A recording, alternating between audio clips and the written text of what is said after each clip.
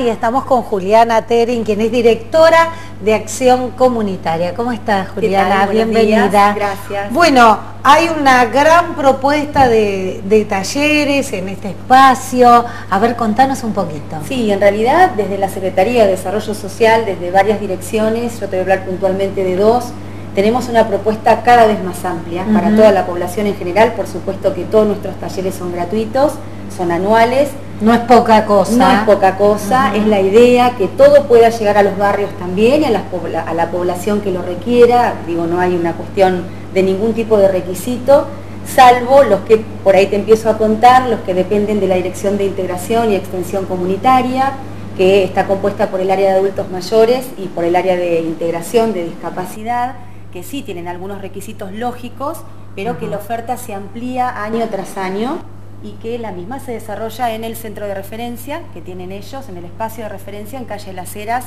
1150. Para lo cual también informarles que ya está abierta la inscripción, ya hay, me parece que están, te diría, los cupos bastante cubiertos, pero no hay que dejar de acercarse porque realmente lo van ampliando a medida que la demanda crece. Bien. Eso por el lado del espacio de la Dirección de Integración. Mi dirección, la Dirección de Acción Comunitaria, que a su vez cuenta con una coordinación de los centros comunitarios que está a cargo de Susana González, también la verdad que ha crecido ampliamente la propuesta y este incremento tiene que ver con la gran demanda de las personas de nuestros barrios que necesitan espacios no solamente de recreación, sino también de capacitación, de formación, ¿sí? Bien. Este, y a ver puntualmente, ¿qué hay para ofrecer? Mira, en, lo que depende de nuestra dirección, tenemos 112 propuestas este año, es muy amplia. Ah, que tiene que 112. no, te alcanza el tiempo para leer. No, son muchísimos talleres. Por ejemplo, alguno, a ver. el que más se llena, por ejemplo, es el de Zumba. Eso es, ha sido un ah, éxito porque, bueno, entendemos que es un poco este, lo que hoy por hoy se busca para actividad física, para generar hábitos saludables y que a su vez genera una energía positiva interesante. Claro, y además hace grupos de pertenencia. muy buenos y que acompaña a las, instructoras, a, las instructoras al resto de las propuestas que anualmente van surgiendo, a los, nuestros eventos, digamos, propios pero los de los que nos interesan muchísimo son aquellos que tienen que ver con la formación, este, si bien no tienen una certificación oficial, sí realmente la salida que esto les, genera es muy interesante. Estamos hablando de, por ejemplo, peluquería, artesanías, tapicería.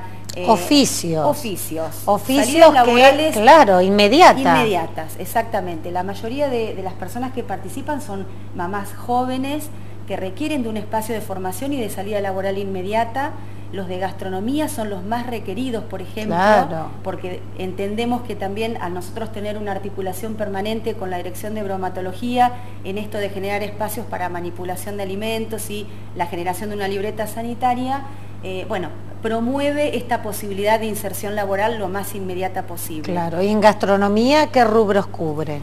Básicamente todo lo que es panificación es, lo que más, digamos, se demanda porque es lo que mayor salida tiene. Realmente el producto de la panificación es lo que más salida laboral tiene porque es de rápida de rápido aprendizaje y de rápida salida. Claro, claro. Este, pero bueno, todo lo que es peluquería no hay vacantes este, ah. porque hay mucha demanda y lo tenemos en, si bien tenemos 13 centros comunitarios habilitados para esto, eh, no en todos está este oficio porque realmente eh, no contamos con tantos talleristas, pero sí son muy amplios los cupos. Todo depende del, municipio. Son talleristas que están obviamente monitoreados por la Secretaría de Desarrollo Social y las propuestas obviamente que se presentan a la gestión de la Secretaría de Desarrollo Social actual, donde obviamente se evalúan estas posibilidades y se disponen y te digo, la verdad que la evaluación año a año es tan positiva en el impacto de la gente que participa como en lo que genera esto, eh, que bueno, la verdad que le damos este, un lugar privilegiado. Qué bárbaro, gente que por ahí está con, con distintas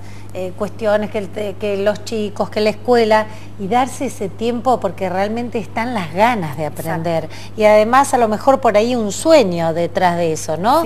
Digo, alguien aprende a hacer panificados o alguien aprende peluquería y a partir de eso puede cambiar su vida con un pequeño emprendimiento o eh, ir a trabajar a algún lugar ya con un conocimiento y una experiencia cambia sin duda la vida de esa persona. Totalmente. El impacto es tremendo Sí. cuando hay un estudio de por medio. Sí, exacto. Y aparte esto de poder verse y proyectarse desde otro lugar, sobre todo las mujeres, las mamás jóvenes, eh, las acompañamos en este proceso de poder elegir ellas qué les gusta hacer y a partir de ahí romper a veces algunas estructuras que se vienen Claro. este, sosteniendo de generación en generación y bueno, eh, es un, todo un movimiento, pero que la verdad es muy positivo. Claro, una vez que, que salen, que ven que lo pueden lograr, Sí. que tienen capacidad, que lo Sí. eh, es fantástico. bien, es un quiebre pueden- en la vida de sí, una persona. ¿eh? El sentir que lo podés hacer es un poco lo que a nosotros nos moviliza dentro de lo que es el trabajo social que se hace en todos los barrios